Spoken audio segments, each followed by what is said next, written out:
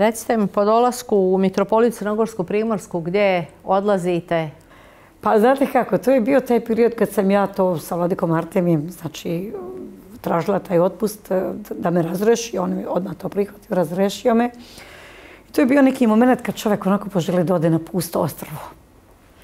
I tog dana, sutradan, ilazi mati Fotina sa Beške, Rekao, mati, tebe Bog poslao. Rekao, ja sad imam želju da odem na pusto ostrovo. Da bude sam sa sobom, sa Bogom. Jednostavno, da ne moram nikom ništa pričati, da ne moram niskim ništa nikom više. Da budem sama sa sobom, da sagledam, da vidim. Jer ovo je sad posle 30 godina života u manastiru, od jedan puta imate, krećeš iz početka.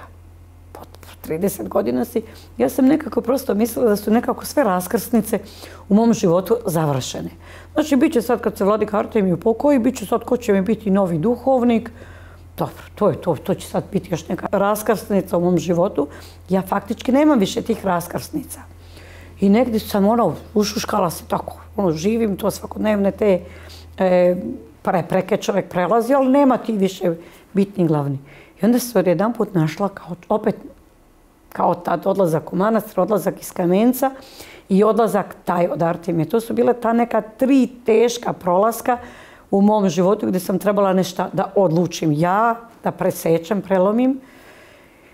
I onda je to zaista bilo toliko teško, ali sam ja to mirno. Znači, ja sam tu od 2007. do 2000, tu zadnju godinu sam u sebi se lomila, shvatila sam nije ovo, ovo ne može više ovako, ničemu ne vodi.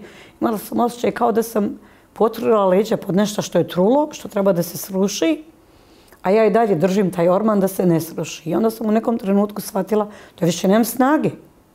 I onda kad sam potpuno presekla, izmičem se pa nek se sruše, nek bude šta bude, tad sam potpuno spokojstvo osjetila. Ja sećam ti par dana tu kad sam još u končulu e, ostala dok sam se pakovala, dok sam sestrama puno moći ključeve, sve to da se to da, preda, ovlašćenje i tako. Ja sam tad shvatila šta znači blaženi, kad kažu i rodivi blaženi.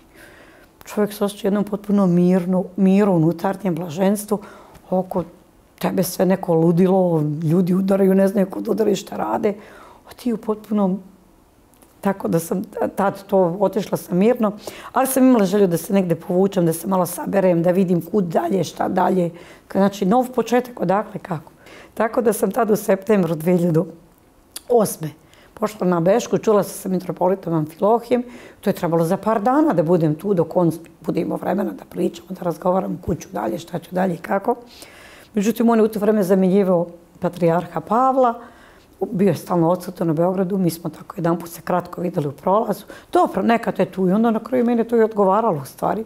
Tako da sam ja mjesto tih 7-8 dana provela 7-8 meseci do proleća i tako Pa ono, par neki vladika su javljali se, zvali, dugo sam u crkvi, znaju mnogo ljudi i tako, javljali se, interesovali se gde ću dalje, šta ću, gde ću, pozivali i tako. Međutim, ja sam čekala tu i među ostalog vladika Joanniki me tako zvao, ruku tu mitropolit, gde blagoslovi, gde odluči.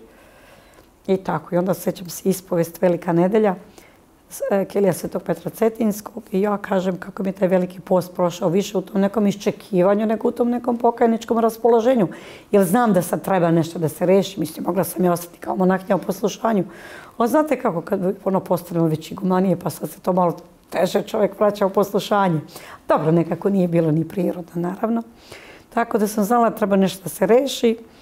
I ja kažem tato mitropolitu i on kaže, ali sam se molila Bogu da negde Bog to reši, da ne moramo, a mogla bi ono, a mogla bi ovako, a ne bi ovo, a bio onako.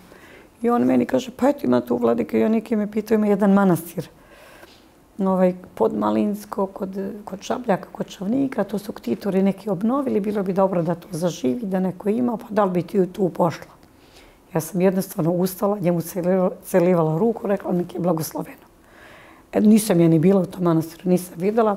Tako da sam stvarno mirno, spokojno to počeo to meni da hvali.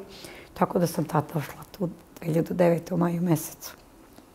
I u, tamo ste u tom prostoru također napravili mnogo toga zahvaljujući ljudima koji su došli da vam pomognu? Pa dobro, moram reći, te prve godine nisam ništa. Te prve godine sam živala malo onako neobično. Za sve te moji 30 godina provedene u manastiru, jako neobično.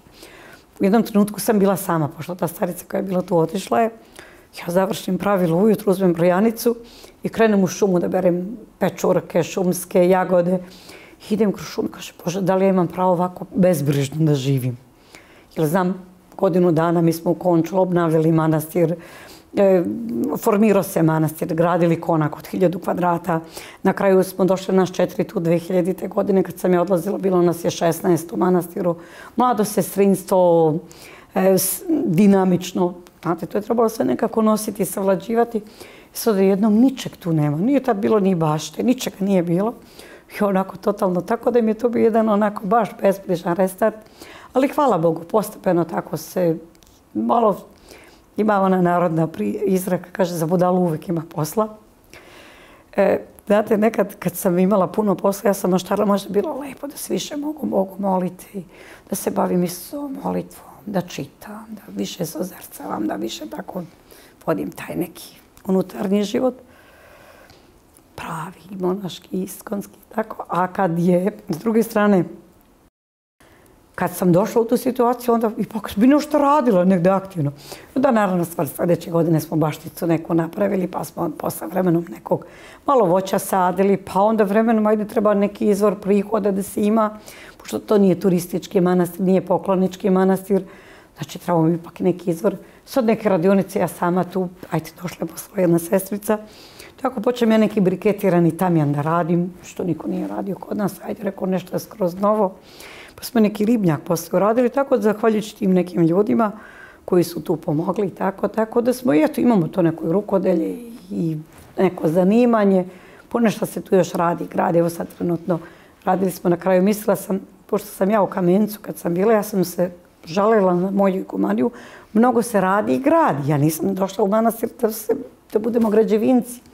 Tako da su mene ponekad dirali, pa kaže, eto ti sad opet radiš grad.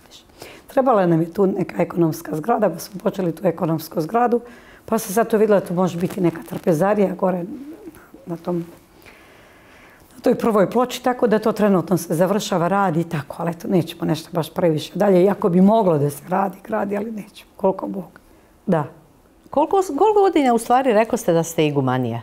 Pa od 97. To je znači 24 godine. Da. koliko je to težak put bio? Šta je bilo najteže u tom igumanskom stažu? Šta najljepše? Pa šta znam, teško je na početku, e, zato što čovjek koliko god misli da nema te sujete i gordo se to pre, možda prepozna, negde to čovjeka ipak malo da se dokaže, pokaže, da ono da ovo. I onda puno puta mi nismo spremni e, ni drugog, e, mislim, taj moment da, da, da mi osjetimo drugog, da vidimo koliko on može, šta može. E, da ne zahtevamo previše od njega, a da opet gledamo da iskoristimo i njemu da pomognemo što može. Možda su to ti neki momenti, ali mislim da je najbitnije i najdivnije kad se uspostavi taj odnos poverenja. E, najteže kad nema tog poverenja. Mislim da je to najgore i najteže. Znate kako, to ne, nepoverenje, ta podozrenja, to je nešto najteže. I s jedne i sa druge strane. E, to onda nekako nema života, to nema spokoja, nema mira. A mislim da je najbitnije kad se uspostavi taj odnos poverenja. E, između, da li to bio poslušnik, monah, iskušenik, iguman, igumanija, ali to međusobno poverenje, da je to neka osnova. E, da, da, da, bi, da bi imalo e, poslušanje, monah mora da ima poverenja. Ako ima poverenja, on će imati ljubavi, a onda će biti tog poslušanja. Mi ponekad insistiramo na tom poslušanju, poslušanje već od molitve, ali nismo svesni da bi se došlo do toga da postoje ti preduslovi. Tako da mislim da je najlepše to kad se taj odnos poverenja uspostavi. Onda se sve rešava, onda nema nikakvih problema iskušenja. Jednostavno, sestra ima poverenje, meni sve da poveri, da kaže. Ja imam opet poverenje, znam koliko ona može da nosi, znam šta može da prihvati. E, pokušat ćemo da nađemo to rešenje da se reši svaki problem, svako iskušenje. Mislim da to, eto, to je i najlež, najlepše i, najteže. Ko sad dolazi u, u manastir, kako je to monaštvo, odnosno na to, taj period kad ste vi došli? Kad je bilo teže, kad je bilo lakše? Pa šta znam, u to vreme vrlo malo dolazilo ljudi da se interesuje za monaštvo. Ja sam rekla, u to vreme mogla se na prste nabrojati koliko je bilo podmatka u Srpskoj pravoslavnoj crkvi to je sve tako negde do početka 90. i trajalo, kad je oko 80. oko oca Artemija od Crne reci počelo to monaško monaštvo da se skuplja 85. oko mitropolita Amfil, vladike Amfilohija u mjesecu to žensko. Posle naravno dolazi vladika Irine i Atanasije, otac Pajs i otac Lazar i tako dalje. Mitropolit je već krenuo. Tako 90-ih znači kreće taj neki bum obnova tog monaštva i ženskog i muškog. I to se sad eh, došlo je do nekog možda i malo prezasićenja. Eh, u to vreme, 90. godina, su stvarno mladi ljudi, zdravi ljudi, trezveni ljudi se obraćali, ulazili u crkvu, otkrivali Boga, susretali Boga, imali tu želju potrebu da se posvete Bogu, da posvete sebe, svoj život Bogu, da služe Bogu. I to je bilo onako, s druge strane možda je bio tad problem e, u crkvi. Možda nije imalo čak nedovoljno razumevanja za njih, e, ni da, da i oni su onako samostalno za sebe kretali. Ali e, što se tiče velika, zaista je mnogo tog se dešavalo za već 43 godine. Pratim to nekako, posmatram, analiziram stalno i ja nekako. U zadnje vreme prvo se malo ljudi interesuje za monaštvo. Dolaze razni ljudi u manastir, prvo se malo interesuje za monaštvo. A moram, nažalost, reći to što se interesuje ima dosta oštećenih ljudi. Mislim, tako nam je društvo. Ima dosta oštećenih ljudi. E onda je problem što i mi u manastiru nismo svaki put e, dovoljno osposobljeni, svesni, trezveni da to prepoznamo, da pomognemo tim ljudima i da vidimo, da prepoznamo gde je stvarno zaista želja da se služi Bogu, da, a gde je samo nekad e, da se potreba da se pobegne od sveta, da se nađe neki mir u tom nekom nemiru ili da se nađe neki lek za tu razočaranost i onda tim ljudima pomognemo. Ja sam imala slučaj kad sam jedan put rekla ocu Igumanu u jednom našem manastiru na Kosovu, vidim neki čovjek je došao tu razbijan skroz, hoće kao da bude monah. Čovječe, pomognite mu, nađite mu posao, nemojte se zanositi i vi i on. Pomognite mu, nađite šta se sad učite i vi i on tu. Niti on za monaške život, niti za iskušenika. Tako da je vrlo i mi puno puta ne umemo da prepoznamo. Ono što meni možda što ja onako vidim i zapažam, što me pomalo čudi, E, to neko monaštvo, ti neofiti, 80. i 90. godina koji su ušli u crkvu, koji su tada ušli puni ideala, predali se Bogu, krenuli u monaštvo, što posle 20 godina, ja 20, 20 nešto god vidim te pojedine ljude, pa malo budem začuđena. Ponekad se okupi, okupirani toliko tim materijalnim, tim spoljašnjim, da ponekad mislim, pa smo mi zbog toga došli u manastir. Zaboravimo nekako zašto smo stvarno došli u manastir. Nedavno sam se vratila iz puta iz Rusije, vidite tamo velike monaške zajednice. Evo Rumunije gdje imate velike monaške pa, zajednice. Kod nas nikad nisu postojale te velike. Mi Srbi smo malo po prirodi specifični. Ono, Srb nepokoran, ne možemo mi baš lako da se pokorimo, da se odričemo. To je malo mnogo teže. Pa da to prosto kod njih je to i vekovima postojalo i jednostavno postoji. Kod nas nikad mi nismo imali tih velikih, eto, bilo je to nešto pojedinačno, sporadično, zaista nije bilo. Možda, ne znam, u srednjem veku, tad kad je za vreme Svetog Save i ti, ali ženskog monaštva, isto to od Ruskinja što smo primili 20. godina prošlog veka, ali sve su to mnogo manje zajednice bile. Drugo, bilo je to vreme kad su dolazile te devojke iz ti seoski zadruga, porodica, gde su navikli da slušaju, da se odriču svoje volje. Im nikakav problem nije bio da poslušaju. A danas je mnogo teže. Danas jedno, dvoje dece, razmaženi previše. Svi su navikli da im se udovoljava, da im bude sve po njihovom. Ja sećam jednom, ja moje sestri jednoj kažem, pa dobro, sestro, kako ti to zamišljaš tako? Ti, ti shvataš da ne može sve da bude kako ti zamišljaš. Ali znate, kaže, kako mati? Nas su roditelji uvek stavljali ispred sebe. Hoćeš li ono, hoćeš li ovo? Hoćeš li onako, hoćeš li ovako? Pa ako vidiš da nas ima ovde 15-16, I da zamisli sad svaka treba da traži kako ona želi, kako ona hoće. Pa na šta bi to ličilo? Tako da danas teže malo. Današnje generacije teže to mogu i da shvate i da prihvate. Ali generalno današnje generacije, evo vidite, ne udaje se, ne, ne udaju se, ne žene se. E, malo ta, to semo, sebe ljublje, taj egoizam, ta usredsređenost na sebe. Čovjek je okrenut ka sebi, nije spreman nimalo da izađe iz sebe, da se žrtvuje, da da sebe. I onda zato nije spreman ni za monaštvo, ni za brak. To je možda isto jedan od problema današnjih. S kakvim potrebama ljudi iz svijeta kad dolaze danas, dolaze, šta je razlog za, recimo i kad dođu u posjeti, neki se vežu za manastire, dolaze i tako, postoji li tu neka razlika u, u, znači u tim ljudima koji dolaze? Šta je to što oni traže u manastiru? Šta vam kažu?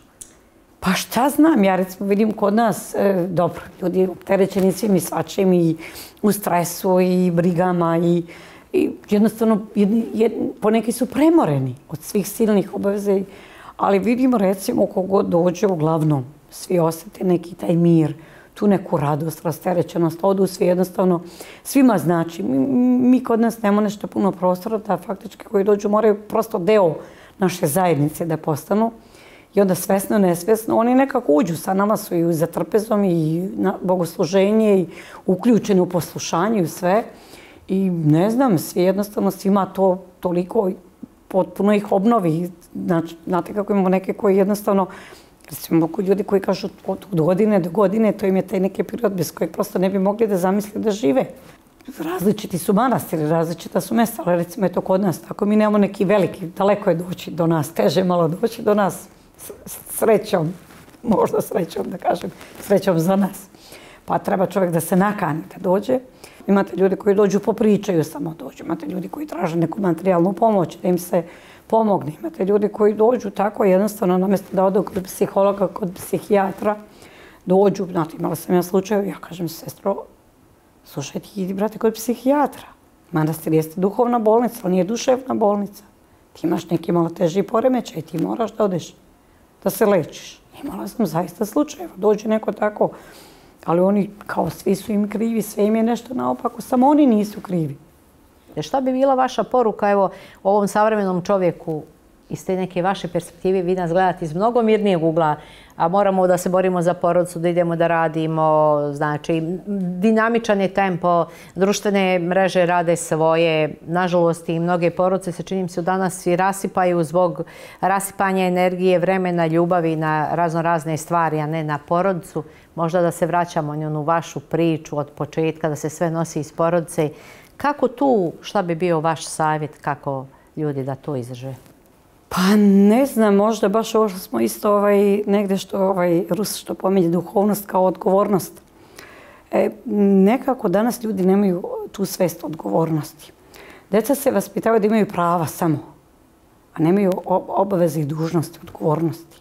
I možda da čovjek e, tu neku odgovornost, gdje god se nalazi, šta god radio, gdje god bio, na kojem god položaju bio, da mora da ima neku odgovornost za to što radi, tu gdje se nalazi, e, na taj će način čuvati neku svoju savest i svoj mir, a onda samim tim će nekako i jednostavno sve će drugačije, jednostavnije da funkcioniše.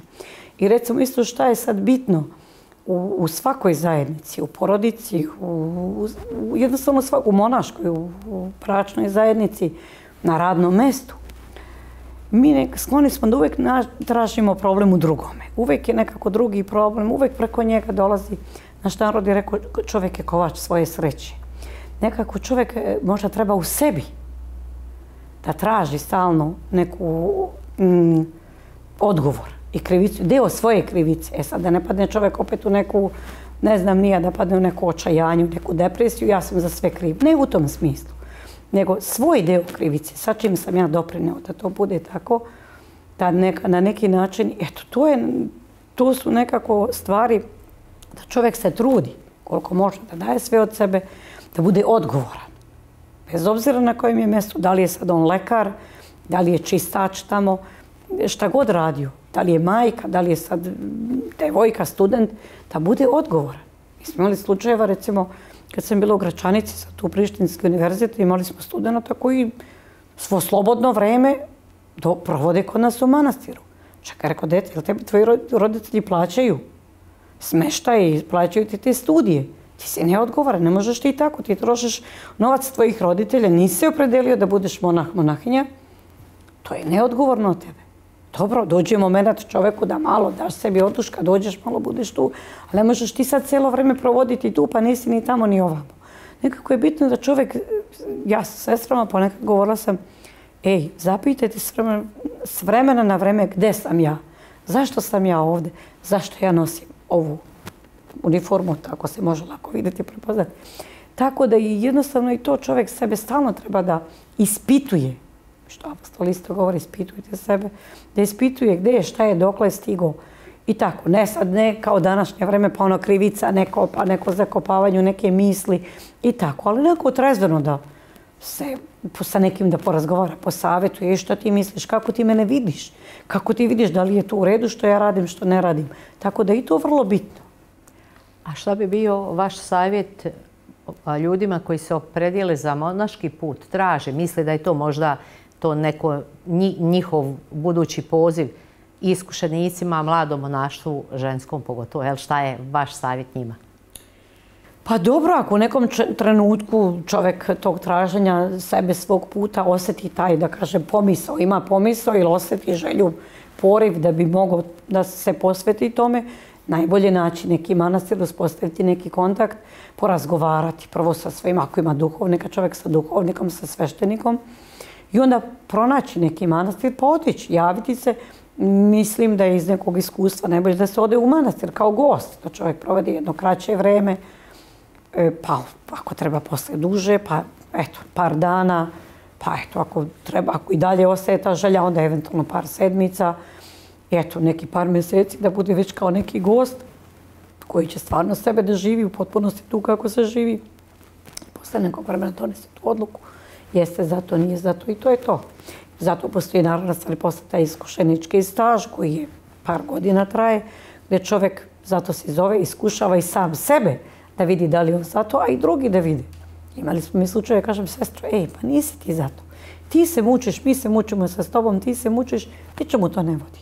Niti je tebi bolje, nama je teško, znači ničemu to ne vodi. Idi ti i vidiš šta ćeš i kako ćeš. Tako da, ovaj, mislim da je to jednostavno, postoji sve način za to, nije to teško. Uz zahvalnost za odvojeno vrijeme, evo, za kraj razgovora da mi kažete, Šta je to što, što ste vi a, pronašli a, na tom svom putu traženja gospoda?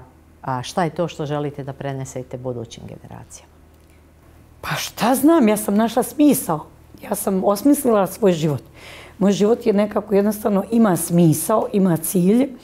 E, rekla sam, bilo je sigurno iskušenja, bilo je stradanja, ali sve to bilo osmišljeno. Uvek sam znala to je Boga radi. I onda sam našla taj unutarnji mir, to spokojstvo jednostavno. Ma koliko da čovjek u trenutno izbaci čoveka nešto iz takta, iznervira se, pritisne čovjeka, doživi i neki, da kažem, promaša i sve toga ima, ali jednostavno imaš to, jednostavno tu neku mirnu luku, to mirno polazište, da se čovjek stalno vraća, iznova kreće. Tako da je, mislim da je najbitnije, e, evo današnji problem današnjeg čovjeka, taj besmisao. Ljudi ne vide smisao ljudi, ja kad vidim mladu decu, oni su depresivni, oni nemaju želju ni za što, oni nemaju smisao. Nas je sve interesovalo, nas je, ne znam, toliko stvari interesovalo, privlačilo. Mi smo nekako tragali, tražili, hrvali se sa svim i svačim. Ovo danas ja ne mogu da shvatim, ne vide smisao, nemaju želju za ništa. Oni su smoreni, oni su depresivni. Da li su sad uticati društvenim mreža? Šta se tu dešava? Ja ne znam ali mi je stvarno neko tužno. Mislim, puno imamo prijatelja, poznanika. Pa sad pratimo mi tu decu kroz odrastanje, kroz pubertet, kroz sazrevanje. Tako da sam ponekad sabezeknuta i šokirana. Nekako ja mogu da kažem, e, meni jedan od moje braće kaže, pa znaš, ja kad razmislim, ti si ipak od nas svih, tvoj život je najosmišljeniji, ti si najradosnija, najspokojnija, nekako najzadovoljnija sa ovom i životom. I stvarno jesam, zaista slava Bogu.